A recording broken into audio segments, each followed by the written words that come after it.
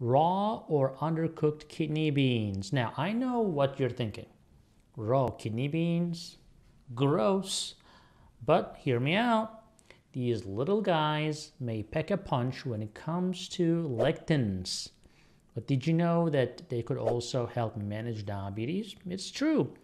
Raw kidney beans contain a special type of carbohydrate that can slow down the absorption of glucose in the body, helping to keep those blood sugar levels in check. Of course, you still need to boil them first. Let's not forget about those lectins, right? But who knew that a potential stomach ache could also be a potential ally in the fight of diabetes? Just make sure that you are cooking them well and maybe resting them overnight in the water before you consume them.